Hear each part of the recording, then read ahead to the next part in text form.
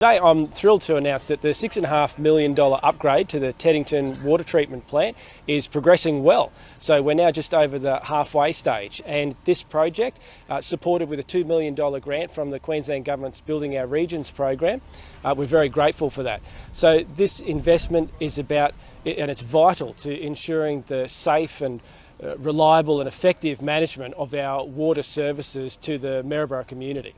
It improves the water supply uh, for the district, and this is part of the future plan we're looking at as for the water grid for the whole of the Fraser Coast. And uh, this is to, to, make sure that the quality water's there. There's, it's going to enhance the water supply and working well as uh, two levels of governments do: the Fraser Coast Regional Council and, and the Miles uh, State Government. So it's basically removing whatever solid contaminants you have from the water, dirt, um, whatever other solids are in the water treatment plant is already separating them out. We're now taking and processing that waste stream.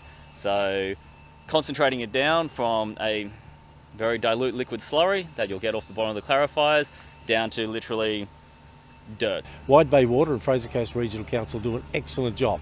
And I think if you travel around Australia and you come back and you taste our water, our water is absolutely superb. And it's because of the treatment plant and it's because of the, of the uh, treatment we have in place uh, to make sure that the quality of water is there for the residents.